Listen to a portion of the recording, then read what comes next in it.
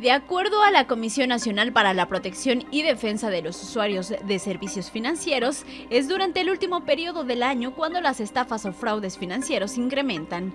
Los más vulnerables suelen ser los adultos mayores.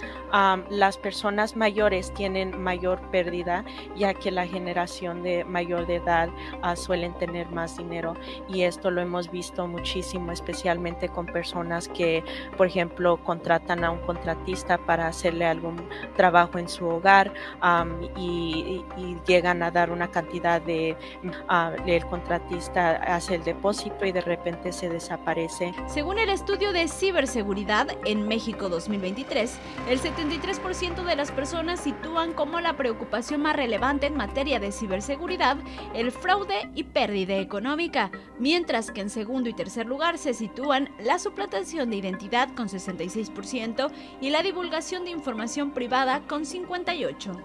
Me hablaron para decirme que tenía que verificar mi información.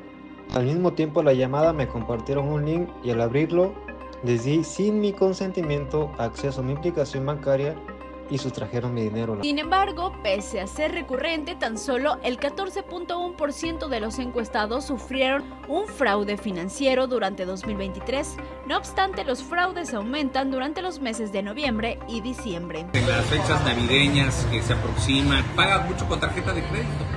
Tengan mucho cuidado el uso de su tarjeta de crédito Muchas veces andamos en la cartera en la parte de atrás, alguien se puede acercar y simplemente ahorita con el touch nada más en México diariamente se registran 15.000 fraudes y 13.000 extorsiones. Sin embargo, muy pocos casos son denunciados, lo que representa la cifra negra que emite el INEGI.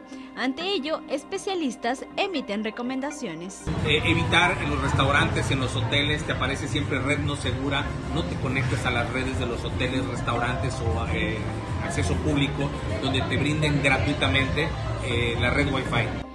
Dentro de los fraudes más frecuentes se encuentran los llamados montadeudas, pirámides financieras, llamadas de extorsión, falsos premios, entre otros. Para Mega Noticias, Lisbeth Leite.